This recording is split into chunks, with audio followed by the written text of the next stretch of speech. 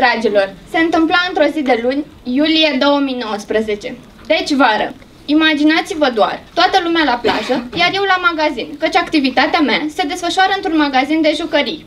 Iată-mă pe mine, în fața calculatorului, citind mail-uri, când o clientă, să-i zicem realitatea, îmi dă lumea peste cap.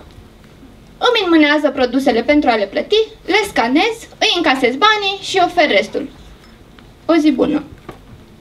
Da, exact pe tonul acesta m-am adresat clientei. Chiar și în condițiile acestea, clienta, zâmbind, mă întreabă. Vai, dar ce supărată sunteți! Aveți probleme? Nu sunt supărată. Îi răspund sec și aceasta pleacă imediat. Mă gândesc, oare de ce a spus că sunt supărată?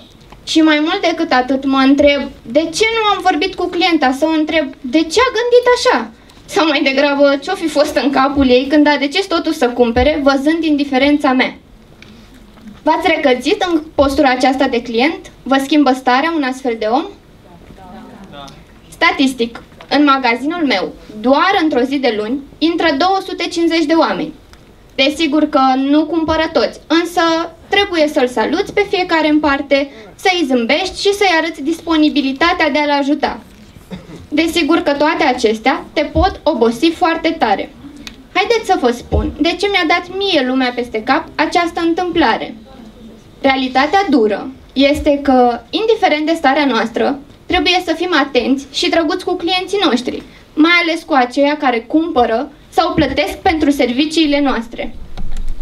Sincer, în ziua aceea, cred că, deși clienta a achitat produsele, eu am pierdut un client din cauza atitudinii mele. Desigur, nu doar eu, ci și compania, care îmi oferă credite pentru a o reprezenta în relația cu clienții.